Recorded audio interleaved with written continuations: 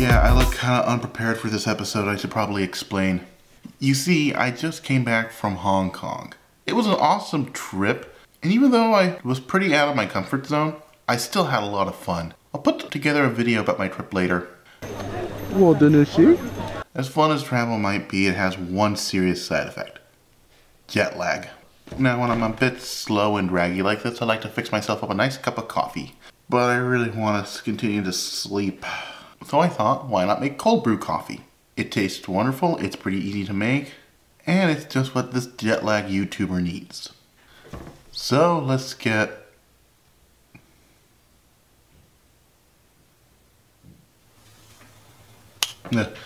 started.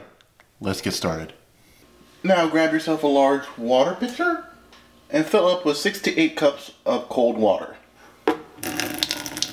Next, using a coffee grinder, grind about 1 cup of coffee beans. Now you can use pre-ground for it, but you're going to have some weak ass coffee. So I'll leave a link in the description if you want one. Anyway, to set the coffee grinder, you don't want it too fine, but you don't want it too coarse either. Medium ought to do it. Dump our coffee grounds into the water.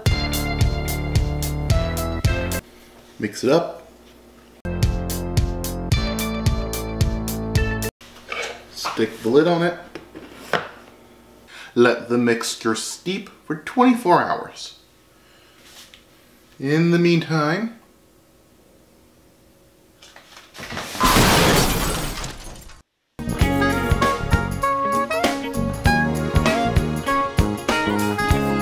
Twenty-four hours has passed and our cold brew coffee is ready for filtering. Now pour everything from the pitcher into a separate bowl. Dump out the leftover coffee grounds and rinse the whole thing out. Pour the coffee back into our pitcher. Rinse this out. Using a fine mesh strainer, let's filter our coffee once more.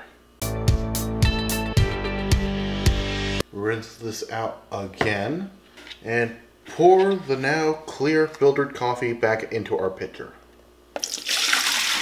Don't forget to put the lid. Now you can have your glass of cold brew by itself, with your favorite coffee creamer, or a nice dollop of sweetened condensed milk. Oh, sweet condensed milk is so bad for you. Is it? This has been Chase Cuttin' Kitchen. I'm CRJ, making cooking fun, and meaning it this time.